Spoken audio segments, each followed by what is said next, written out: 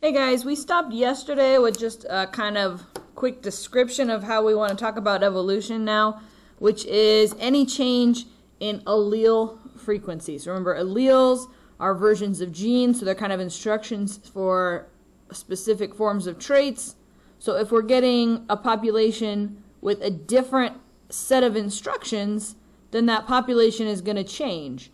Um, so this is not really in conflict with our old description of evolution, but it's kind of just zeroing in more on the cause, like the change in allele frequency is the cause of evolution, rather than the effect, which is that the species starts to have different traits and characteristics over time. And remember, we kind of simplify it to a two-step process, is that there's differences within the population, and some of those are better, and so their genes get passed on. All right, so a little historical frame of reference here. Um, you know, we had seen fossils for a long time.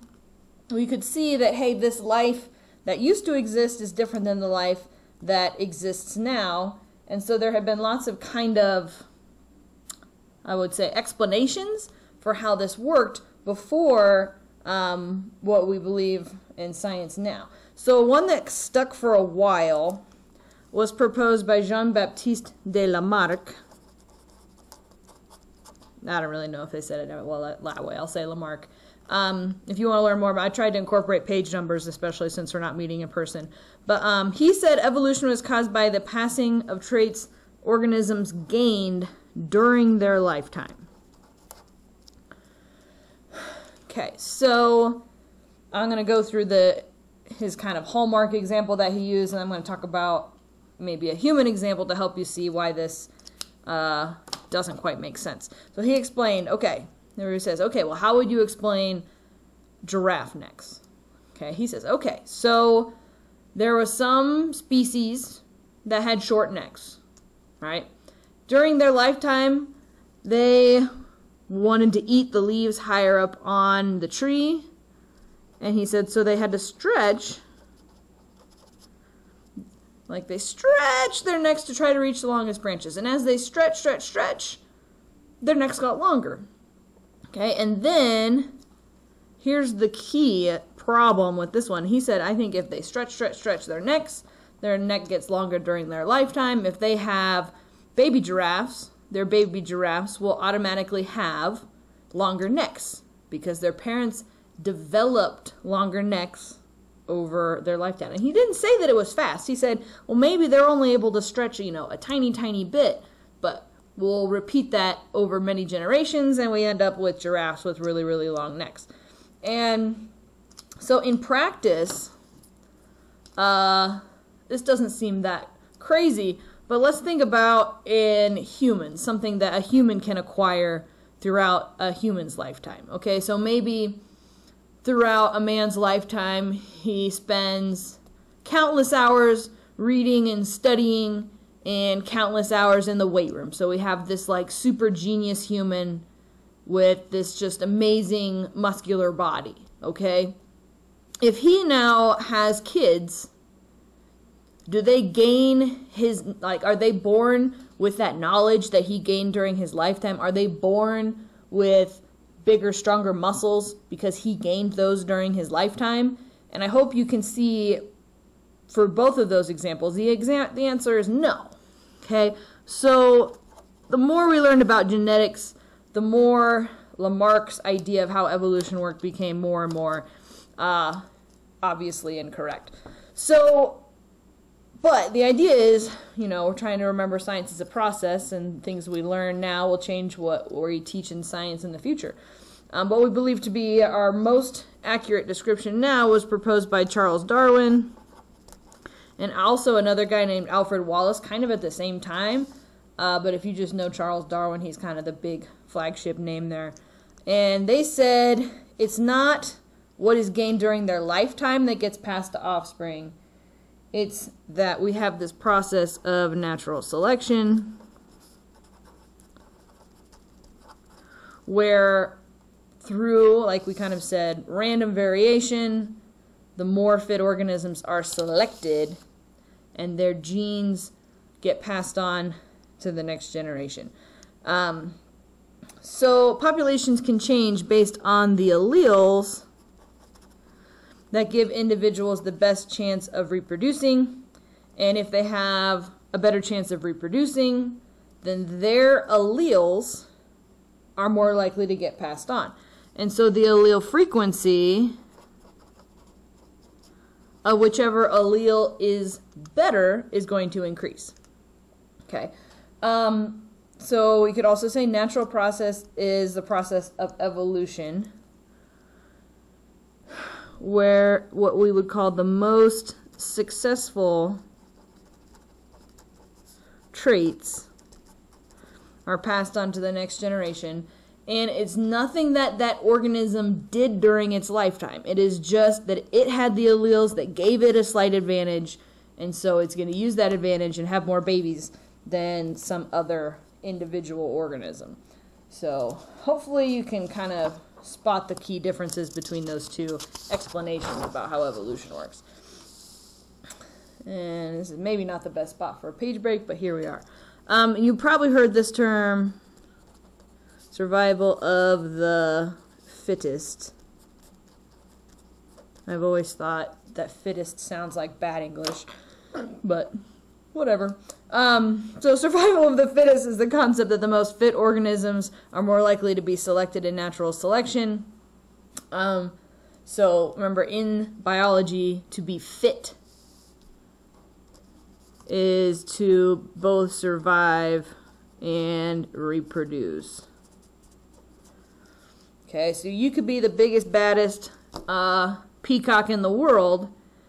Uh, if you survive but you don't reproduce, you are not considered fit according to biology. Okay, so it's all about reproduction is kind of the end game. All right, um, I'm going to back up a little bit and talk about genetic variability.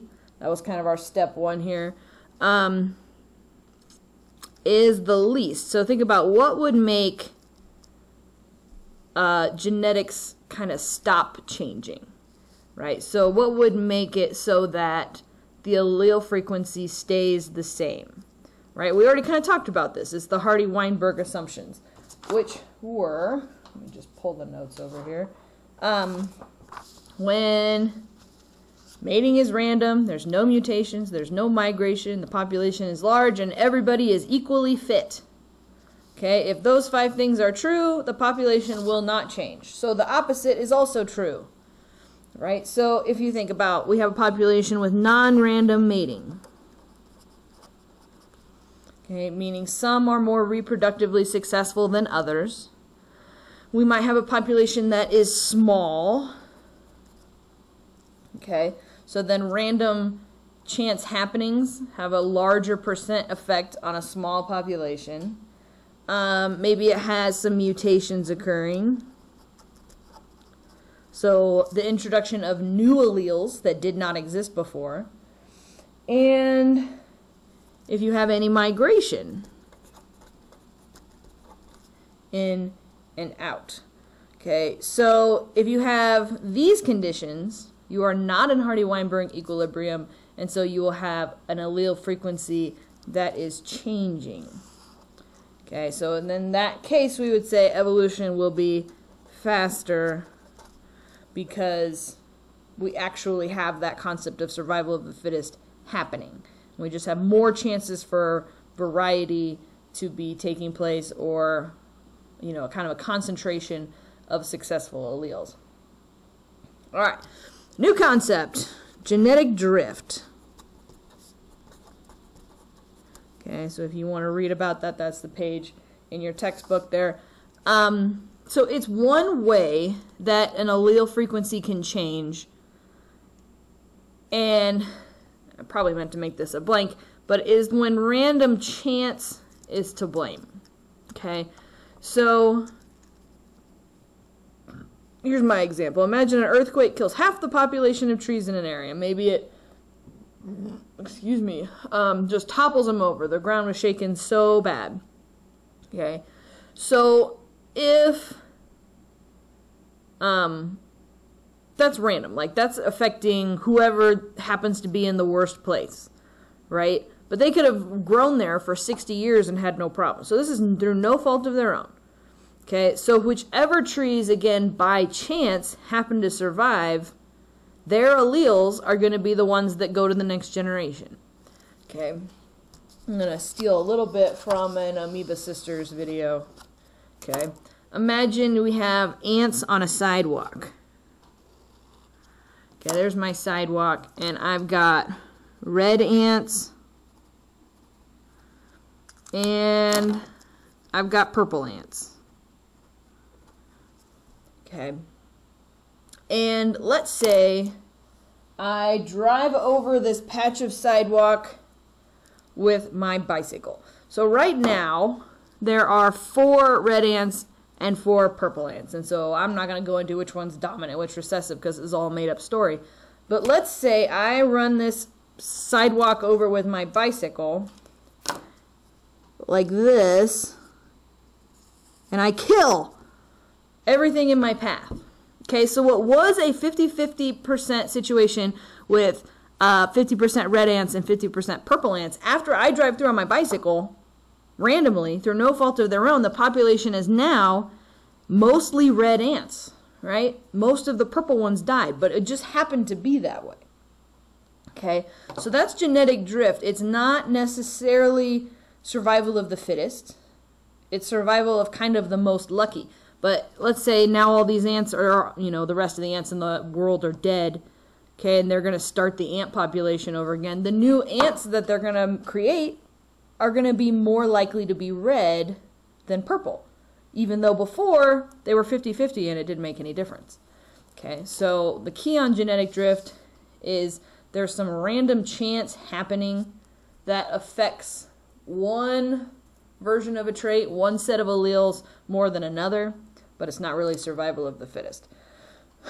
Okay, F is, I always think, very interesting to talk about. Founder effect. Okay. So, you know, founders are people who go off and start a new population somewhere. So we had like the founders of um, European settlements in North America, or um, you know, whatever. Founders are the people who go start something new. So let's say, again, this is kind of one of those butterfly effect deals where it seems like, well, that shouldn't matter, but then it kind of continues to matter. So a small group moves to an area, starts a new population. The new population will have allele frequency similar to this small founder group. Okay, so let's say, well, let's just talk through this example because it's pretty interesting. So I don't know how familiar you are with the uh, um, ethnicities of people who live in South Africa, the country, but there are, you know, the people who are black and have ancestors who have been there for generations after generations after generations. And then there are a group called the Afri- Afrikaners, I believe is how it's pronounced, but they're from, uh, they were Dutch. Okay? And so they came down to South Africa and settled. And it was a pretty small group of people. Um, but you know, their population expanded, and most of the people in South Africa who are white have this Dutch, um, have genes from this pretty small group that came down to South Africa. Okay, and those founders happen to have a pretty high frequency of the allele for Huntington's disease. Okay, so over a century later, we've had you know like four generations of people, and we have lots and lots of people down there now from this original group of people, and they still have a higher frequency of that allele than people, even people of Dutch ancestry elsewhere in the world. Because all the people, you guys are going to think I'm so stupid. I cannot think of the country that people that are Dutch are from. Um, judge away, guys, judge away.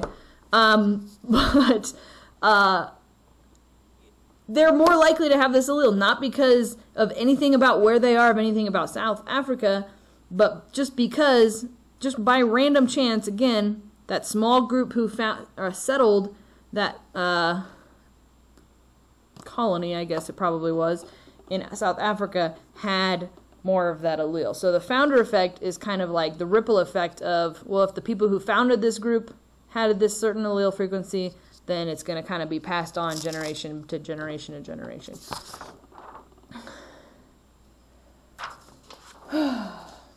okay.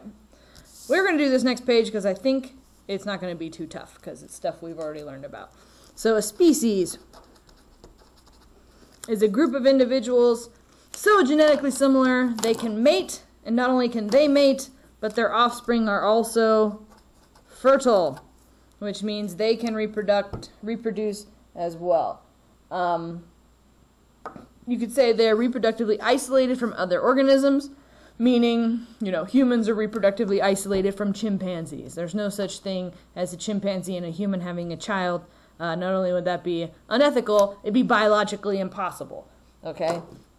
Um, but, okay, species may become isolated in a few ways, and maybe an even better word I should have put in here is populations. Okay, so we could have a group, a small subset, a group of a certain species become isolated. And if they are isolated over enough time, um, they can have changes in their allele frequency. And if that happens for a long enough time, they become very different than the rest of their species and they could develop into a new species that is separate from the one from which they came. All right. Um, and we have this concept called a subspecies. And you're like, okay, so sub means, you know, less than. So it's more specific than a whole species, but it's kind of like distinctively different groups that still belong to the same species. So they have a unique set of traits compared to other members of their species. But if they got together with, you know, a member of a different subspecies, they could still successfully breed and their offspring would be able to breed because they are still the same species. Okay, so there's some a lot of terms that mean the same thing as subspecies that you're probably going to be uh, more familiar with. So some other terms that mean subspecies, varieties. If you're real into gardening, um, you probably have heard of varieties like there's different varieties of tomato, right? There's like the Roma tomato and the Beefmaster tomato, but they're all still the same species. Like I could interbreed those different varieties of tomato. And obviously, races in humans is a totally meaningless term, like we just look different, but we're obviously the same species. Um, some other ones that you're probably familiar with are breeds and strains. Okay, so sometimes we'll use strains for um, like uh, agricultural crops, like certain strains of wheat or strains of corn. But again, they're all the same species. They could all interbreed with each other. And another, you know, classic example, there's not lots of breeds of cattle. Pick cattle because I'm familiar with a few breeds. Um, Ang Angus, Texas Longhorn, Simmental, there's Maine Anjou, there's, you know, tons of breeds. If you Google cattle breeds, you'll be amazed at the number of different breeds of cattle there. But if we were going to look at the subspecies, or at the species they all belong to, that's the species name. Okay. Um, Bos taurus. So any one of those breeds is still the same species. Okay. These are just what we would call, remember, subspecies of the species that's Bos taurus. And so if I had an Angus and a Texas Longhorn, they're the same species. They can breed. They'll make more cattle, right? Um, okay, so I'm going to stop right there. As always, let me know if you have any questions. We'll talk to you later.